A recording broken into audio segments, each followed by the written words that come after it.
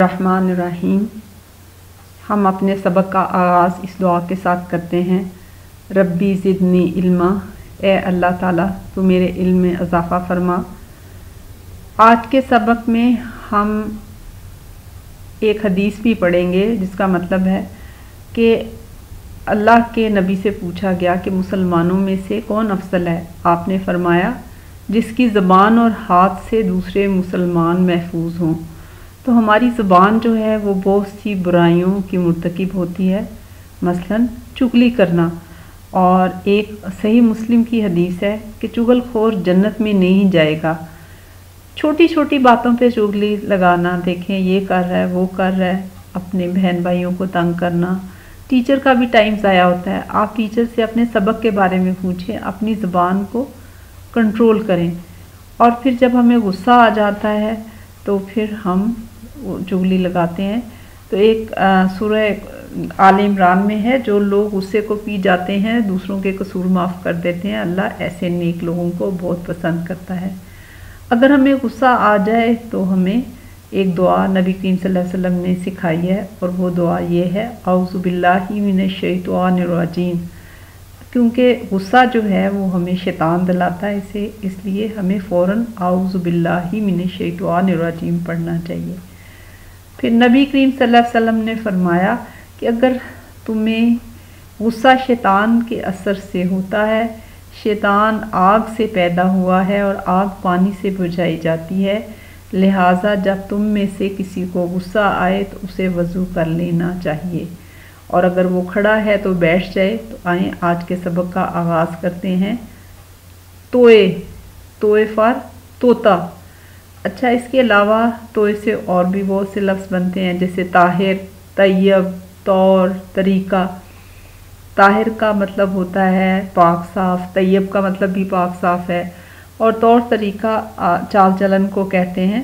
تو انشاءاللہ ہم نے اپنے آپ کو طاہر اور طیب اچھے طور طریقے اپنانے ہیں۔ پھر ہے زوئے۔ زوئے سے ضروف ضروف برتنوں کو کہتے ہیں۔ اچھا آپ کا کام یہ ہے کہ اور بھی سوچیں، جیسے ظل، ظالم ہے، ظلمت ہے، یہ الفاظ جو ہیں یہ بھی زور سے شروع ہوتے ہیں۔ آپ کوشش کریں کہ آپ ایک سے زیادہ لفظ سیکھیں تاکہ آپ کی وکیبلری بڑھے اور آپ کو پھر آگے اردو پڑھنے میں آسانی ہوگی۔ پھر آپ نے دیکھا آئین آئین سے اینک۔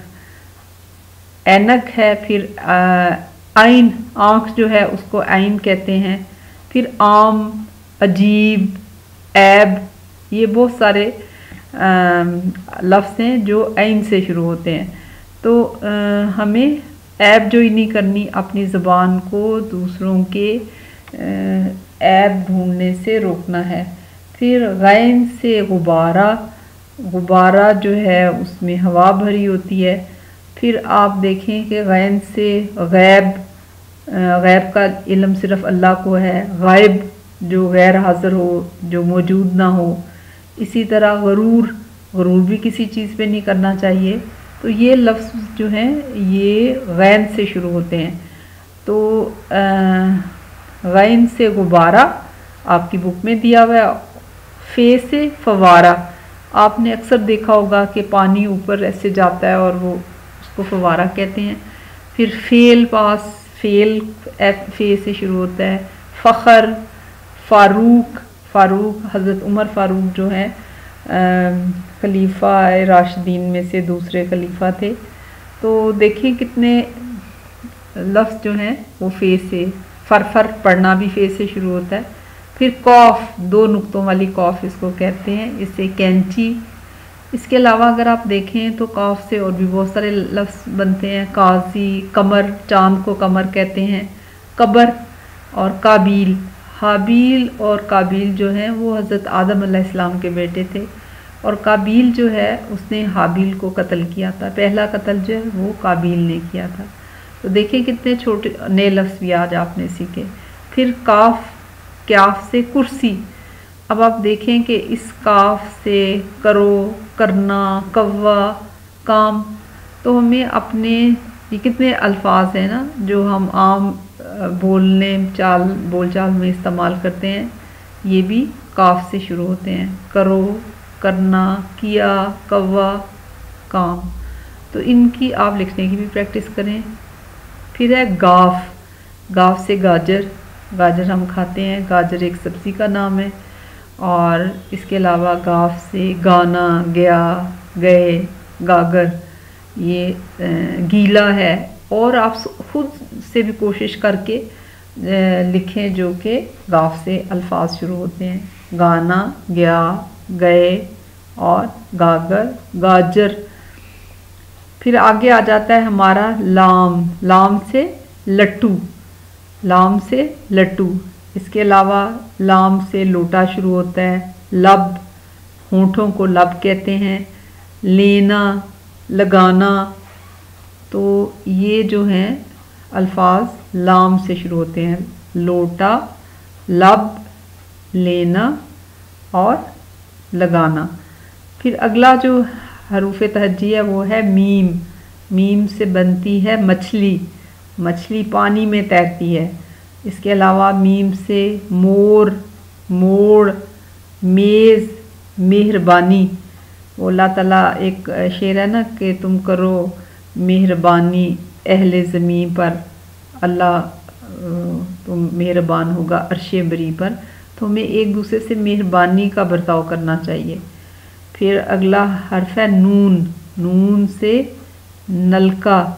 پھر آپ دیکھیں کہ ہماری ناک بھی نون سے شروع ہوتی ہے، نان ہم کھاتے ہیں، وہ بھی نون سے شروع ہوتا ہے۔ پھر رات کو سوتے ہیں تو نیند جو ہے وہ بھی نون سے شروع ہوتی ہے۔ اور نبز نبز جو ہے، جس سے ہمیں پتہ چلتا ہے کہ ہمارا دل کی دھڑکن پتہ چلتی ہے، کلائی پہ دیکھتے ہیں، تو یہ سارے الفاظ جو ہیں وہ نون سے شروع ہوتے ہیں۔